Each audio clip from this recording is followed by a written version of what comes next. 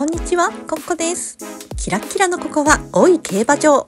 本日はメガイルミに来ています。レースがない日の冬の特別イベント。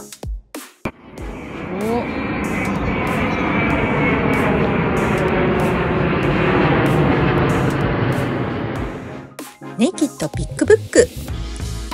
ここ歩くとね、ほら、足元に蹄鉄が。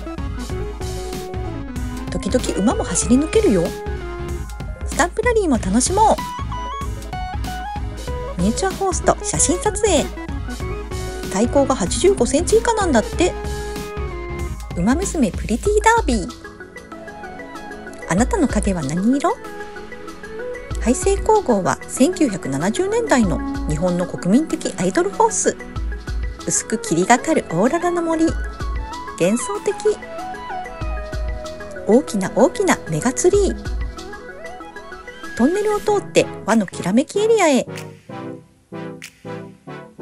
そう、今日は元上司のゆかりちゃんと出かけてます。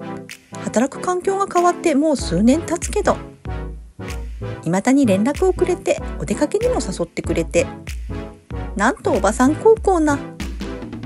縁を大切にしてくれるとっても素敵な子。トンネルを抜けると日本原風景。おや、登りたての大きな月。怪しく照らされるスターティングゲート。江戸桜トンネル。長さ100メートル。この光のトンネルはライト一つ一つが桜の花。ピンク、白、紫色の藤棚。本物よりももっさりボリューミーかも。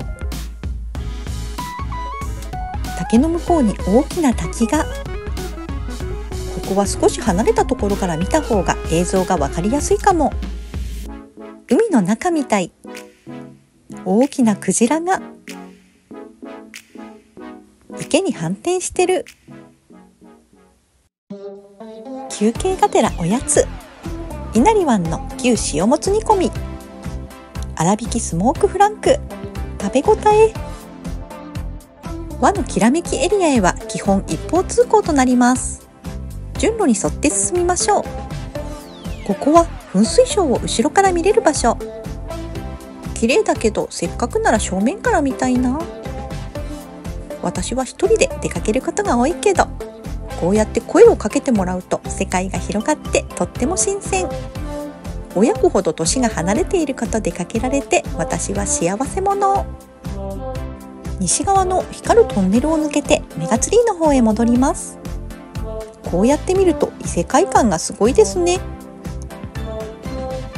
再びメガツリー。何か食べ物を買って噴水ショーを正面から見れる場所を探します。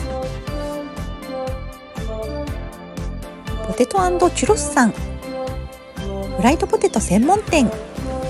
2種類選ぶボックスを注文。スイーツテーブルさんにてクロッフルも。私たちの今日のディナーはこれ。ソースも2種類選べます。2人なので別々の種類頼んでいろいろ味見。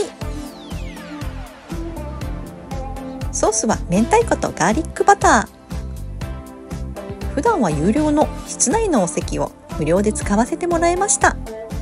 ちょっとしたテーブルもあったりして暖かいし特等席。私たちは平日に行ったのでとてもゆったりと過ごせましたが土日祝日は混雑が予想されるので寒さ対策万全に暗いので足元も気をつけて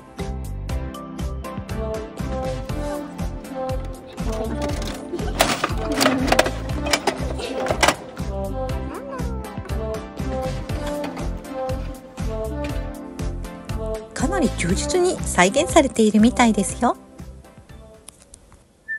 最後までご視聴ありがとうございます。また次の動画でお会いしましょう。